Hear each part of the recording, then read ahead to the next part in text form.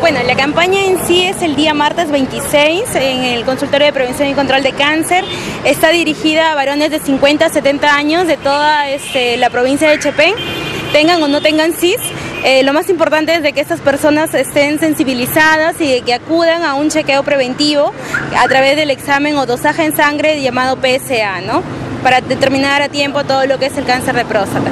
Claro, sí, ya hemos tenido campañas en cuanto a mujeres para lo que es el cáncer de cuello uterino, el cáncer de mama y en esta oportunidad también este, en el marco de la celebración del Día Mundial sin Tabaco también vamos a, a coger todo lo que es la campaña preventiva para lo que es despistaje de cáncer de próstata a varones de 50 a 70 años. El examen en sí es un examen en sangre, que es el dosaje de PCA, pero también este, podríamos sensibilizar a nuestra población para que ellos mismos acudan. También eh, contamos en el hospital con un médico urólogo para que pueda este, realizar lo que es el famoso y temido tacto rectal, ¿no? que es un examen muy exitoso que nos da este, a ciencia cierta un diagnóstico eh, muy probable en lo que es el cáncer de próstata. Claro, eh, como es un examen en sangre, se, se, les pide a los pacientes que acudan el martes 26 de mayo a las 8 y media de la mañana en ayunas y con también otra condición que es tres días antes no haber tenido relaciones sexuales. Son las, sí, las esas son las recomendaciones ¿no? para que el examen sea ese efectivo más que todo. ¿Tiene una estadística de cuántos existiría más o menos aquí en la provincia de Chepén sobre este cáncer?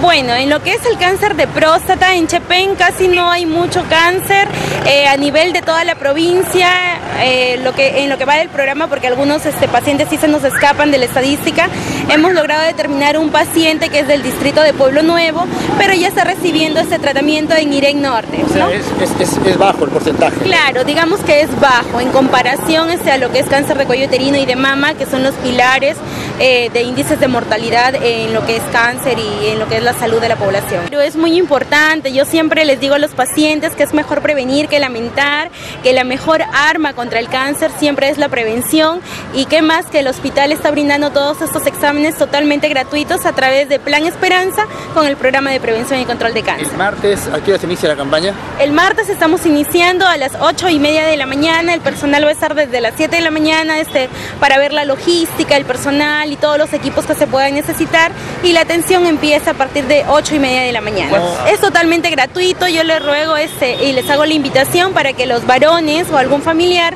los pueda inscribir con mi persona en el consultorio ya que tenemos un cupo de 80 personas. Es para todas las personas, ¿no? Es para todos los varones de 50 a 70 años, con CIS o sin CIS. 80 personas van a ser tamizadas.